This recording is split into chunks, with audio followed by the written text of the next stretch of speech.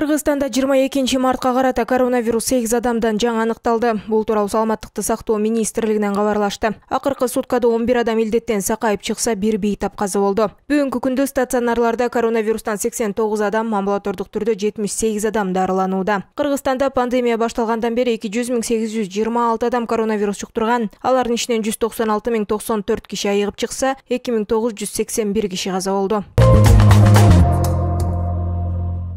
жалал абад облусунун аймагында күчү беш баллга жеткен жер титирөө катталды. Бул тууралуу өзгөчө кырдаалдар министрлигинин басма сөз кызматынан кабарлашты сейсмология институтунун маалыматына караганда жыйырма биринчи март күнү саат жыйырма эки жыйырмаларда жалал абад облусунун аймагында очогунда күчү беш баллга жеткен жер титирөө катталган. Жер титирөө чаткал районунун канышкыя айгыр жал коргон сай айылдарында төрт баллга чейин ак таш курулуш жаңы базар башкы терек айылдарында үч бүтүн ондон беш баллга чейин беш арал чакмак суу терек сай айылдарында үч баллга чейин сезилген деп айтылат маалыматта. Жер титирөөдөн жабыркагандар жана кыйроолор катталган жок